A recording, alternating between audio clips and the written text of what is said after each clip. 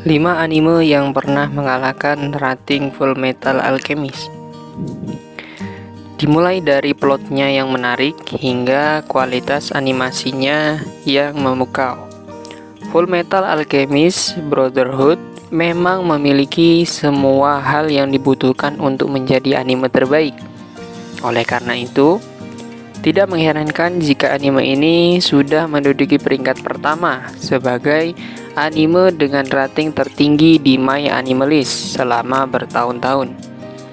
Meski begitu, posisi pertama tidak selalu dipegang oleh Full Metal Alchemist Brotherhood. Ada beberapa anime yang pernah mengalahkan rating Full Metal Alchemist Brotherhood. Meskipun pada akhirnya Full Metal Alchemist Brotherhood berhasil merebut kembali posisinya. Penasaran apa saja animenya? Sebelum kita ke videonya, dukung terus channel kami dengan cara like, komen, dan subscribe, dan aktifkan lonceng notifikasinya agar channel ini lebih dikenal banyak orang. Di posisi kelima, Kaguya sama Love is War Ultra Romantic. Kaguya sama Love is War Ultra Romantic adalah musim ketiga dari seri Kaguya sama Love is War. Anime ini menampilkan kelanjutan perang strategi antara Kaguya Shinomiya dengan Miyuki Shirogane untuk menentukan siapa yang akan menyatakan cintanya terlebih dahulu. Hingga artikel ini dibuat Kaguya sama Love is War Ultra Romantic masih menduduki peringkat pertama dengan skor 9,15. Sementara Full Metal Alchemist Brotherhood memiliki rating 9,13. Dapatkah Kaguya sama Love is War Ultra Romantic mempertahankan ratingnya? Di posisi keempat, Your Name. Penggemar anime pastinya sudah tidak asing lagi dengan anime yang satu ini.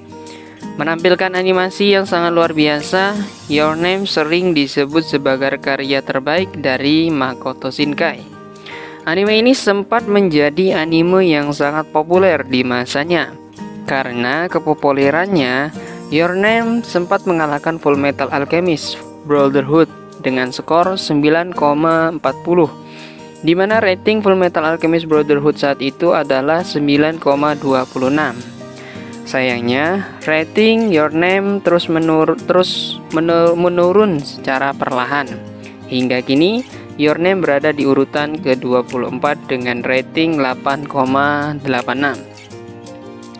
Di posisi ketiga, Fruit Basket The Final Season. Seperti judulnya, Fruit Basket The Final Season adalah musim terakhir dari seri Fruit Basket Anime ini merupakan versi ramake dari anime berjudul sama yang dirilis pada 2001. Sebagai musim terakhir, anime ini berhasil memberikan ending yang memuaskan, sehingga banyak penggemar yang memberikan rating yang baik untuk anime ini. Karena hal tersebut, Fruit Basket The Final Season sempat mengalahkan rating Full Metal Alchemist Brotherhood meskipun hanya sementara Kini anime ini menduduki peringkat ke-10 dengan rating 9,03. Di posisi kedua, Gintama The Very Final. Gintama The Very Final adalah film terakhir dari seri Gintama, sekaligus film yang mengakhiri perjalanan Gintoki dan kawan-kawan.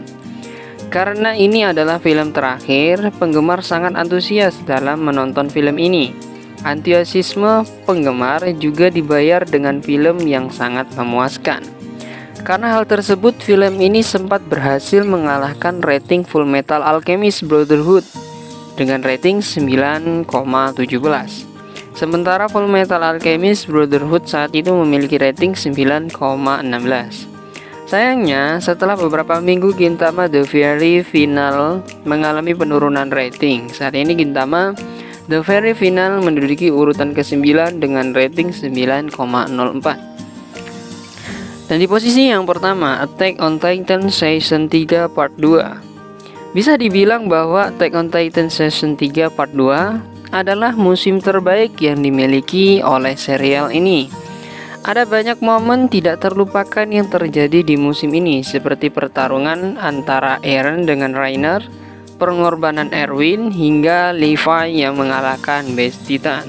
Karena musim ini sangat memorable, tidak mengherankan jika, jika penggemar akhirnya berbondong-bondong untuk memberikan rating yang tinggi kepada anime ini. Attack on Titan Season 3 Part 2 bahkan pernah mengalahkan rating Full Metal Alchemist Brotherhood. Sayangnya, hal ini tidak berlangsung lama dan Full Metal Alchemist Brotherhood kembali merebut tahtanya sebagai top rated anime. Meskipun sudah didepak oleh dari urutan pertama, namun penurunan rating Attack on Titan Season 2 Part 3 tidak terlalu besar. Kini Attack on Titan Season 2 Part 3 berada di urutan kelima dengan rating 9,07. Sejauh ini memang masih belum ada yang dapat mengalahkan rating Full Metal Alchemist Brotherhood.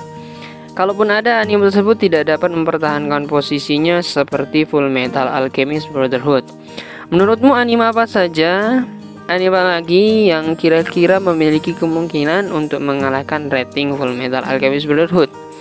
Mungkin itu saja video kita pada kesempatan kali ini. Jumpa lagi di video-video berikutnya dan apabila memiliki saran silahkan klik di kolom komentar ya.